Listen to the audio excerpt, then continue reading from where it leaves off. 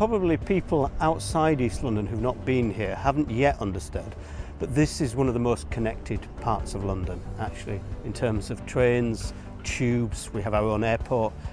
So the new centre of London is moving here really and East Village sits right in the middle of it. I think what we've got in East Village is, is, a community that's going to be created and grow. And that community will be a vibrant, dynamic community.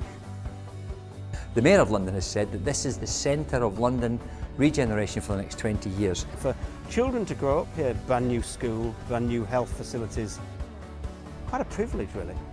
We open this September 2013 and we will be catering for children from 3 to 19 years old, offering a full reception, nursery, primary, secondary and sixth form education.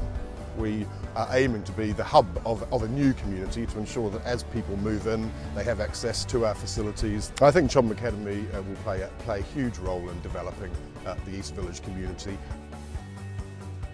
So I think what's great about East Village um, is that we have 16 architects who have been involved in the design of all the blocks here and all the plots.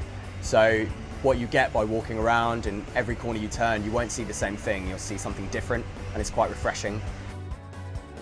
There's about 10 hectares of open spaces, public realm uh, on the East Village, um, courtyards, squares, wildflower meadows, wetlands areas, a number of areas for walks, seating areas, views of the river system and views into the Queen Elizabeth Olympic Park and really just areas to, to chill out.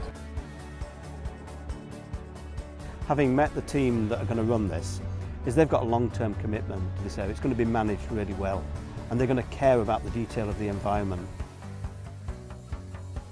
It's a bit special, it's a once in a lifetime opportunity and the generation that come and live here will be part of making and creating a whole piece of London.